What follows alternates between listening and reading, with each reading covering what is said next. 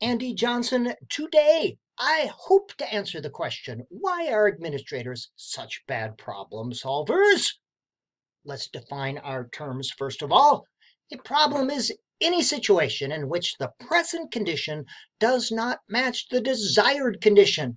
The real is different from the ideal. Hmm, here's the real, there's the ideal. Problem.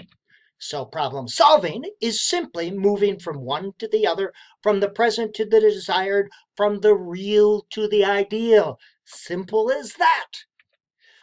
But often, and I'm using administrators as a placeholder, not all administrators are bad problem solvers, and I'm looking at school and university administrators as well as anyone in an organization that seems to be a bad problem solver. You come up with these ideas, these solutions, and you say, what were they thinking? Well, more often they weren't. But why are there so many ineffective solutions for rather sim uh, seemingly simple problems? Two reasons. Reason number one problem solvers don't know the basics of problem solving. They don't know some basic problem solving skills. And we're going to look at two problem solving heuristics creative problem solving and means end analysis. These will get you through most problems in life. Very simple, very simple, very simple. The first is creative problem solving. There's the thinking frame. Define the problem. Generate as many solutions as possible. Select the one that seems best, elaborate and refine. And there's a graphic organizer you can use. Generate, best idea, elaborate, and refine. In first grade, we teach a much simpler version of this. Define the problem, simply generate a whole bunch and choose one that seems best. Problem, bunch of ideas, best idea. We teach this basic problem solving skill starting in first grade. A more complex version would be after you define the problem, get some background information and you can see the problem, this nice graphic organizer, ideas, and then a solution. Simple as that, simple as that. The next one is means end analysis. Describe the current state, describe the desired state, and simply generate a list of things or necessary steps to get you from one to the other. And there's our nice graphic organizer, current, desired, things that need to be done. Simple, simple, simple. The second reason is problem solvers often don't know how to brainstorm. Now, two types of thinking are necessary to be an effective problem solver. You have to generate a whole bunch of ideas. This is creative or divergent thinking, but also you have to evaluate ideas. This is critical or convergent thinking effective problem solvers are able to use both kinds of thinking. Ineffective problem solvers often use one but not the other, and creative thinking is most often excluded because people don't know how to brainstorm. And that poster should be on all classrooms and anywhere posted where people are making decisions or trying to solve problems. Step one, all ideas must be accepted.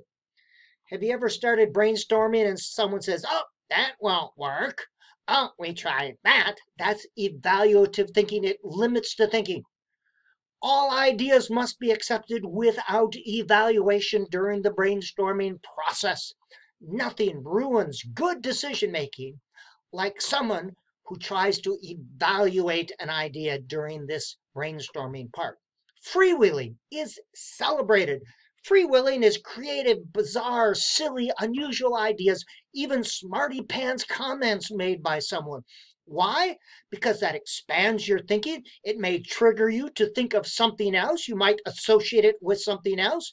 You want a lot of ideas and a wide variety of ideas. So, yes, we celebrate this freewheeling.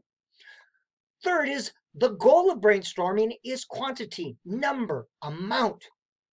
The more ideas you can generate, the greater perspective you have on the problem and the more possible solutions from which to choose. So generate a lot, a lot, a lot. And hitchhiking is welcome. Hitchhiking is when you expand an on an idea already presented, or you take an idea and you add to it, or elaborate, or maybe combine one or two ideas. These four steps, four rules should be posted in any decision making place. Now, ineffective problem solving. What usually happens when there are ineffective problems they usually use this. They identify a problem and they identify one idea. They fixate, oh, here's the solution, they say, and they fixate only on that and they do not see the expanse of possibilities. The second one is to find a new program or idea. I call this shiny new thing syndrome. Oh, there's a shiny new thing. Let's try it. And then they look for a problem.